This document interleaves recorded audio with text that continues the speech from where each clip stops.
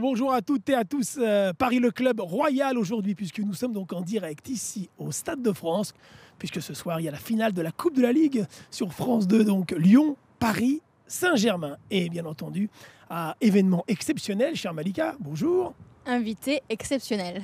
bonjour Jean-Philippe, bonjour à tous. On y va, on présente les trois Ben invités oui, Francis Huster, qui est déjà venu dans, dans l'émission, c'était à, à l'automne, et nous étions d'ailleurs au Parc des Princes, mon cher Francis. Oui, et depuis, le, le PSG a tenu parole. À Et- trois minutes près, ils étaient en demi-finale. Il faut arrêter de les massacrer. Ben oui, non, on va pas les massacrer. Bah oui. Avec nous également le directeur général adjoint en charge des sports de France Télévisions, Daniel Vialian, bonjour. Bonjour. Bonjour, soyez le bienvenu. Et puis Jérôme Alonso, qui est le grand gardien de but, grand consultant, et qui aura le plaisir hein, de commenter ce soir. Donc, à- Le privilège même. Et le privilège, on peut le dire, donc de commenter cette finale Bonjour de à la tous les deux. Merci. Coupe de la Ligue. Salut Jérôme. Aujourd'hui, donc, euh, nous allons consacrer cette émission en partenariat avec nos amis de France Bleu, 107 points. Nous allons donc entièrement la consacrer à cet événement final de la Coupe de la Ligue, Lyon, Paris, Saint-Germain. Et puis comme d'habitude, n'hésitez pas à réagir euh, sur les réseaux sociaux, sur les comptes Facebook et Twitter de Paris le Club. Paris, depuis 12 jours, ne va pas très bien. Paris a été battu à Chelsea. Paris a été battu dimanche à Lyon. Paris va mal. Le Paris Saint-Germain est une bête blessée. La défaite en quart de finale de Ligue des Champions contre Chelsea a fait mal aux Parisiens.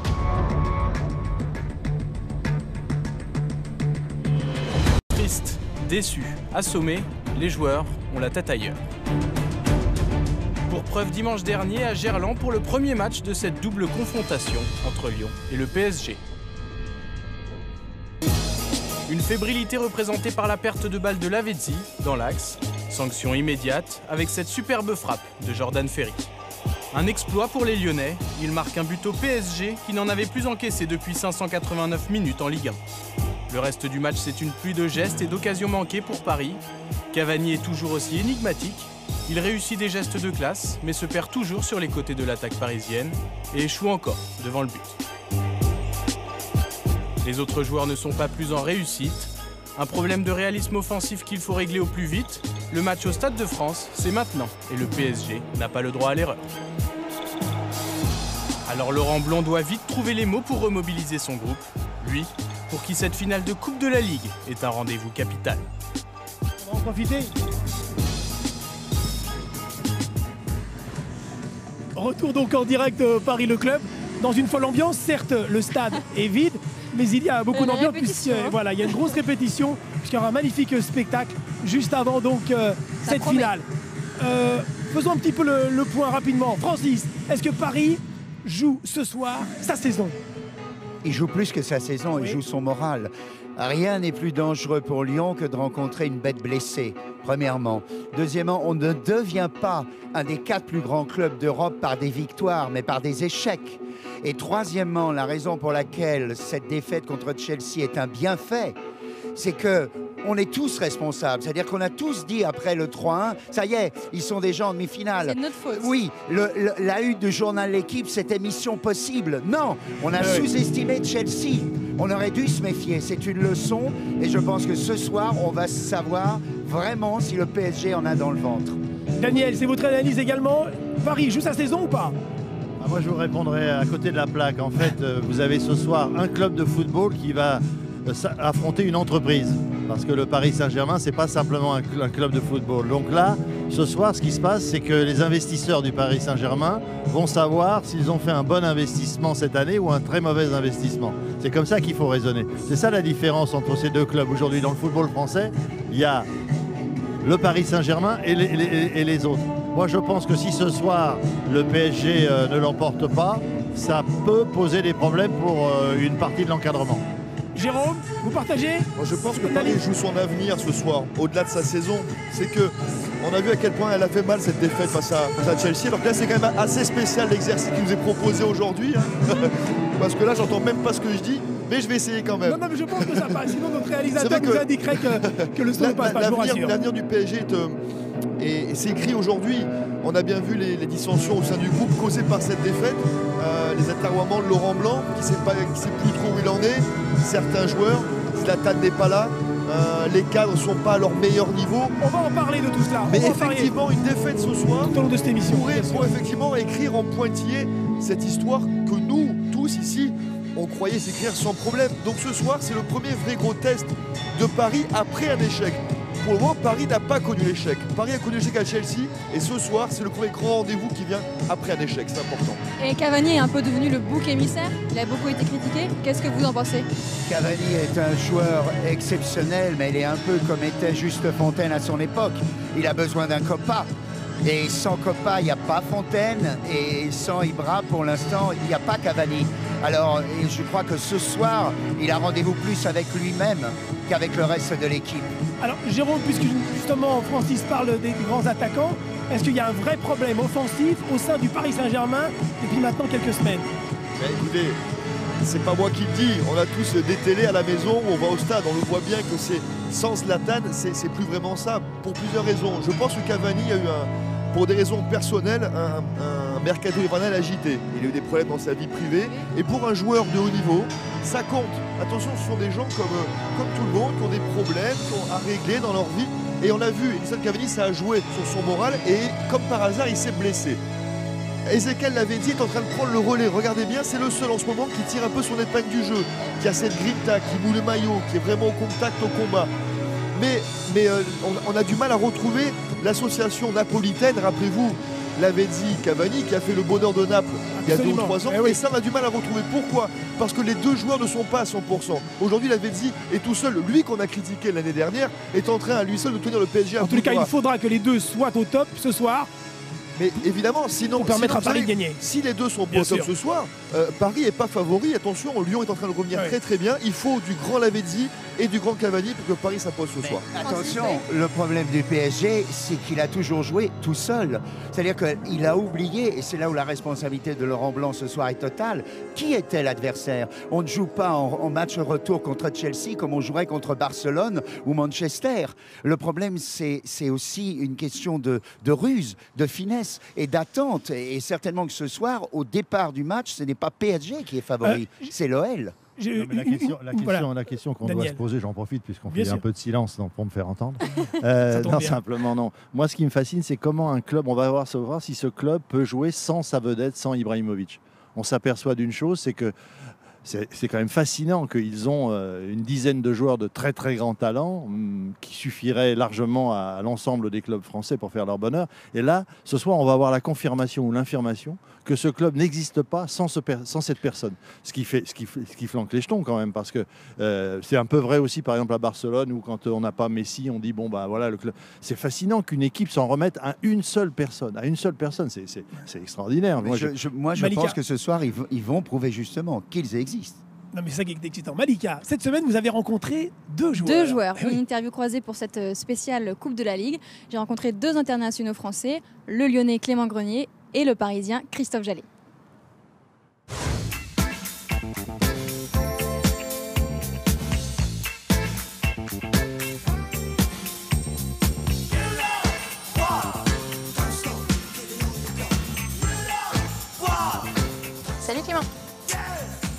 Ça va Bonjour Christophe.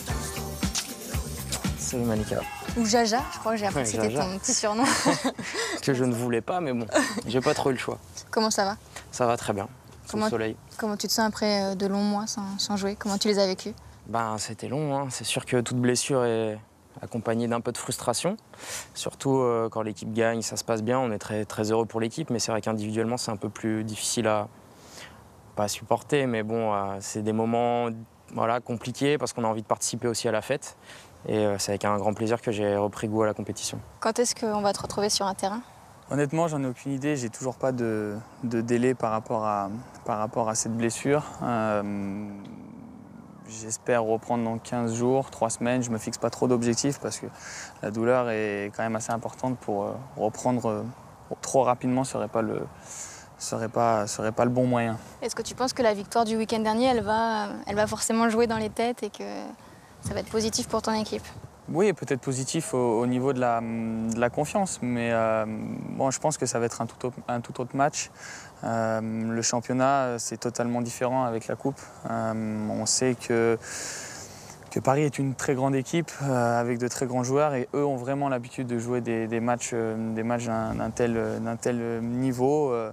voilà. Après nous on est prêts, on a montré ces dernières semaines qu'on était capable aussi de rivaliser avec des grandes, des grandes équipes européennes. Donc voilà, le match de samedi, il faut garder en mémoire pour s'en servir, mais, mais je pense que samedi ce sera quand même un match totalement différent. Et on l'a vu, il y a eu une défaite le week-end dernier face à Lyon justement. Est-ce que tu penses que ça va peser dans les têtes? Non, peser, je pense pas. Je pense que vraiment, on, a envie de, montrer que c'était juste un accident de parcours et qu'on est capable de, battre cette équipe lyonnaise dans un grand rendez-vous.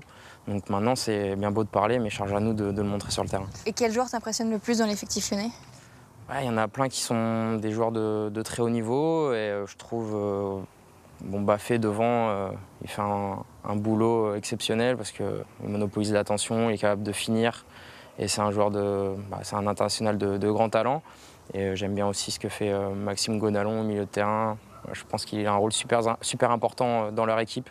C'est un peu la plaque tournante et il le fait très bien. Ils ont énormément de, bons joueurs. Moi, j'aime, j'aime aussi Johan Cabaye, j'aime bien Verratti. C'est vrai que c'est, de, très bons joueurs. J'aime les, joueurs assez techniques. Donc voilà, c'est, des joueurs que, que j'aime regarder jouer. Pourquoi il faut la gagner cette coupe justement?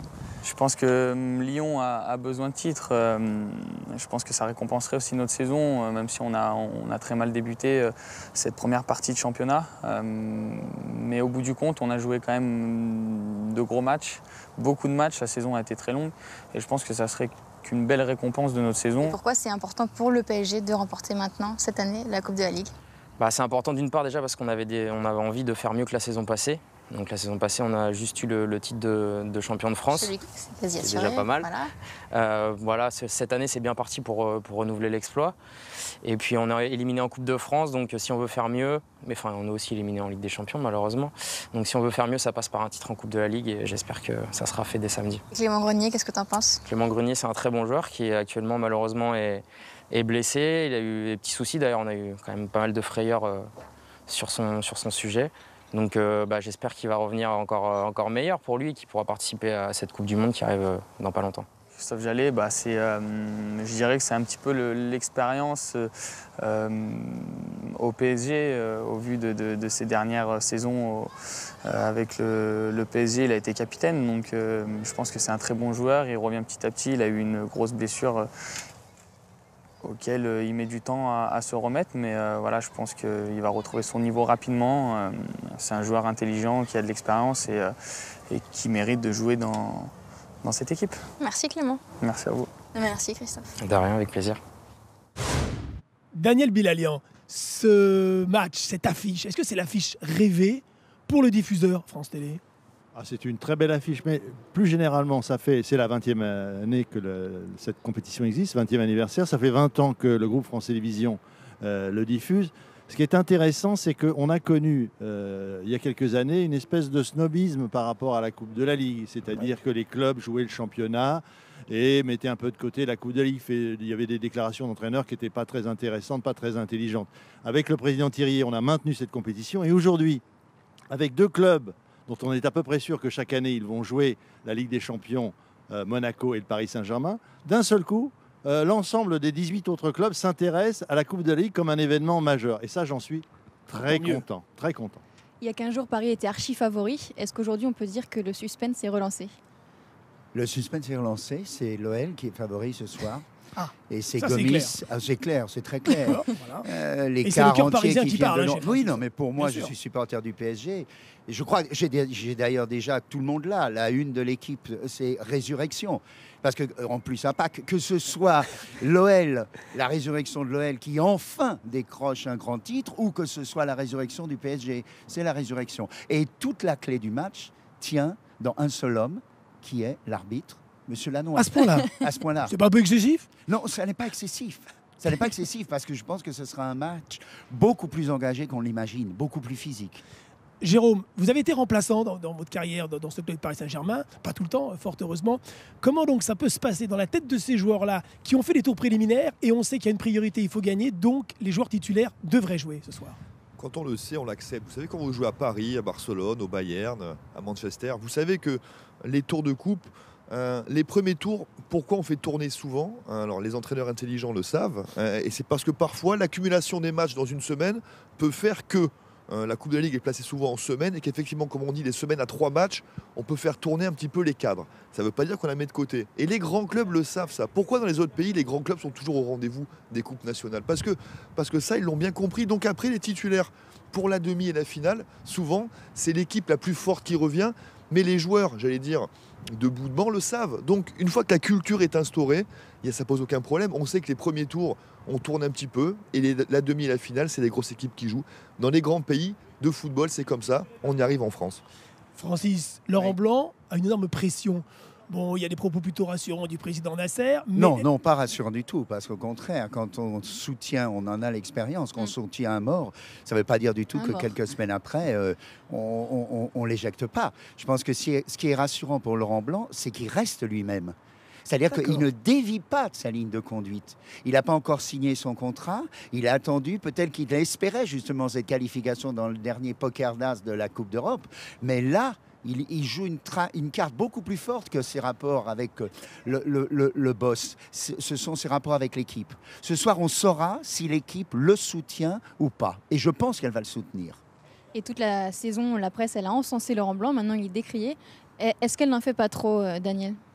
Bon, écoutez, ça c'est la particularité d'aujourd'hui, c'est-à-dire que, que, pour vendre, il faut, il faut dire des choses, même si elles ne sont pas vraies. Je veux dire, le, turnover des entraîneurs aujourd'hui dans les équipes professionnelles a quelque chose d'hallucinant. Euh, euh, on encense euh, un dimanche, on, le démolit le dimanche d'après. Mais je dirais qu'aujourd'hui, c'est vrai aussi dans le monde politique, c'est pas vrai simplement dans le monde du football. Hein. En ce moment, vous savez qui est à la hauteur, qui était au plus haut des sondages. Peut-être que dans une semaine, il ne le sera plus. Je pense que tout ça. Ah bon, c'est qui? Oui, vous avez compris.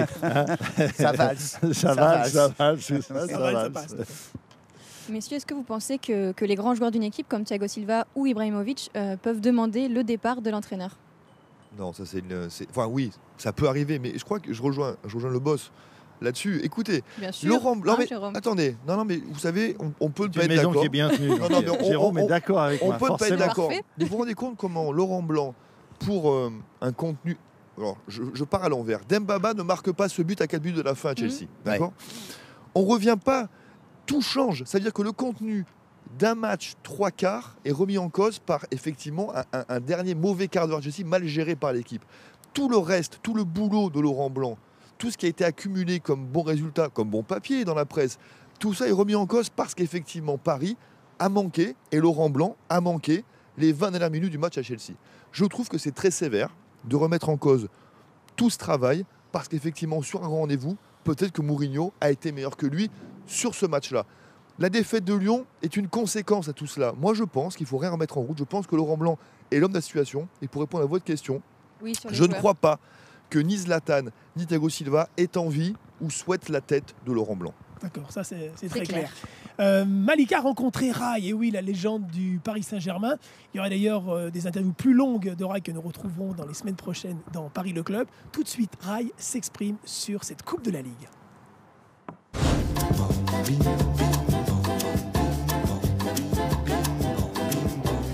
Bonjour. Bonjour.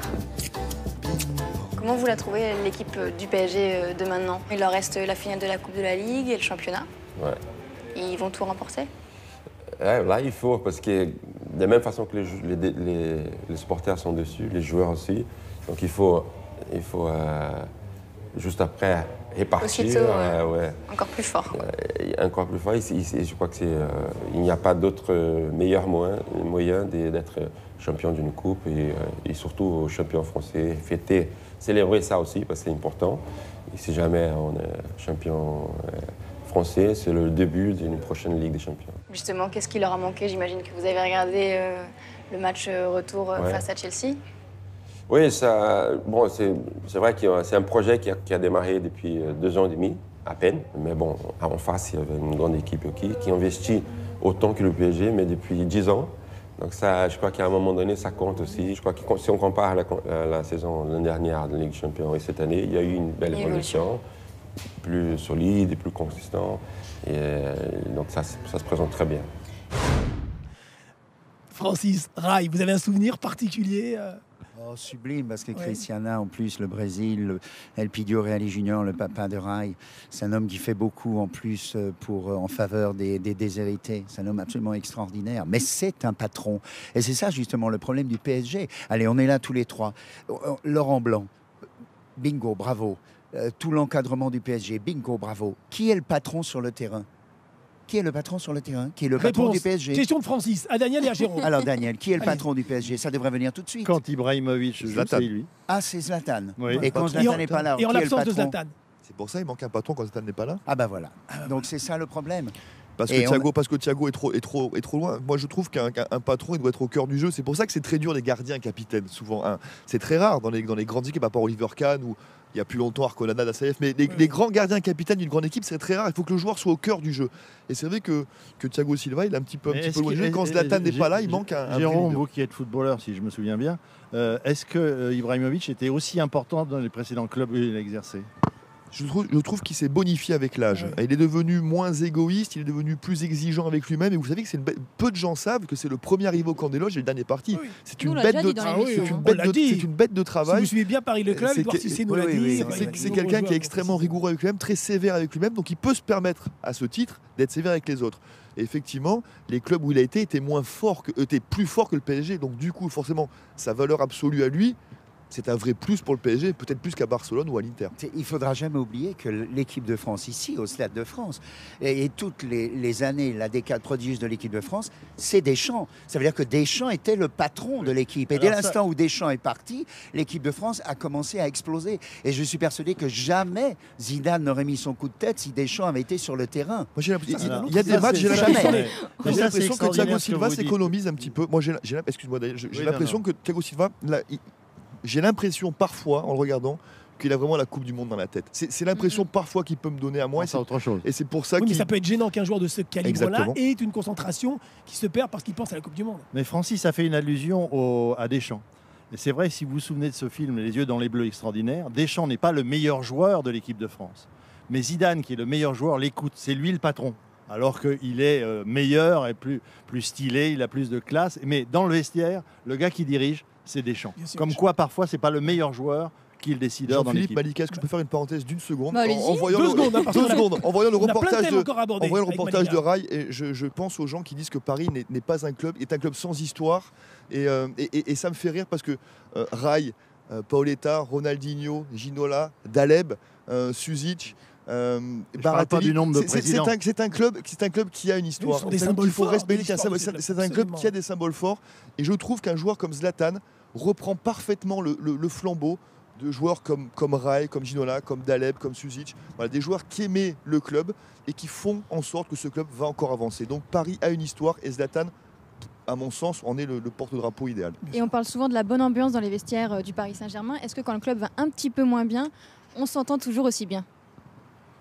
Oui. Oui, parce qu'il faut un, il faut un groupe, il faut. Attendez, on part pas tous au restaurant tous les soirs ensemble. Non, mais évidemment que La oui. réponse- on n'est pas, réponse- non, la on n'est pas réponse amis avec tout le monde. On n'est pas amis avec tout le monde dans le l'hypocrite. vestiaire. C'est impossible.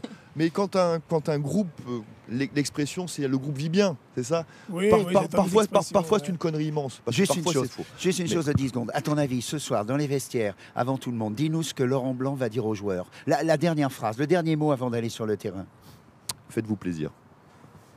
Qu'est-ce qu'il va dire Qu'est-ce qu'il a dit. Faites-vous plaisir.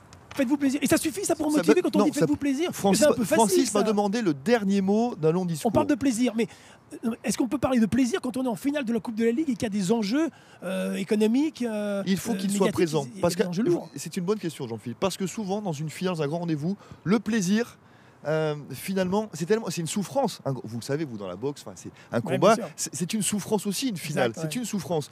Mais je pense que le boxeur, quelque part comme le footballeur, il y prend du plaisir dans ce combat. Le rugbyman, il prend du plaisir dans le combat. À en prendre toute la, toute- pendant une heure et demie, il en prend. Donc, dans cette, no- no- no- cette notion de combat, a une notion de plaisir, c'est gagné. Moi, je changerais un tout petit peu la phrase en disant faites plaisir à ceux qui vous regardent. Ça, c'est le boss diffuseur qui parle. ça. Malika, on, on doit nous inviter le. Oui, on, on va bientôt terminer. Alors, on va vous demander vos pronostics pour Ben soir. oui. Alors, PSG. Combien PSG au tir au but. Au tir au but. Ouais, au tir au but. Daniel?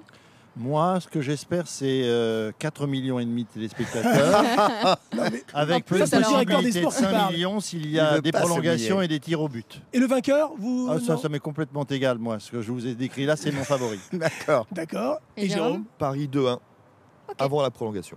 Et voilà. Francis, votre actualité est chargée parce que vous êtes un sportif. Vous jouez trois pièces Ouais. Au même moment. C'est- incroyable. Je joue l'affrontement et Einstein, la trahison d'Einstein au rive gauche, et puis euh, Love Letters avec Christiana au théâtre Antoine à 19h. Et puis le- la nuit, en rêvant du PSG, vainqueur ce soir, euh, j'écris des bouquins. Et le dernier, c'était Family Killer, ce, ce bouquin qui a très bien marché sur euh, l'affaire du pont de Ligonnès, un polar très noir. Et il y a un projet, parce que vous avez écrit ce- cette nuit? Oui, il y a un projet qui est foot, Sur le euh, foot. Samba et Brazuca qui, qui paraîtra le 20 mai sur la Coupe du Monde. C'est le ballon de la Coupe du Monde qui raconte l'histoire de la Coupe du Monde et ce qui va se passer. Bon, il faudra venir en parler euh, sur ce plateau. Malika, notre question Twitter. Alors la question Twitter cette semaine, c'est Laurent Blanc joue-t-il sa place sur cette finale Messieurs, je vous remercie pour votre présence. Programme Merci riche et programme royal sur France 3 Paris aujourd'hui. Spécial donc Stade de France où nous étions ici dans cet écran magnifique. Dans 10 minutes, c'est Laura Messis qui sera sur ce plateau qui va recevoir donc les patrons de ce Stade de France pour La Voix est libre, cette émission. Ensuite, il y a le journal en direct bien sûr à midi et l'émission politique qui se dérouleront également donc euh, sur ce Stade de France. Et puis 15h15, on parlera du Parc des Princes avec un doc passionnant donc sur France 3 Paris. Et ensuite, ce soir, deux émissions en direct, le journal de 19h et à 20h, une émission spéciale. Merci Malika, à la semaine prochaine. À la on se semaine retrouve. prochaine. Paris le club. Salut, bye, ciao.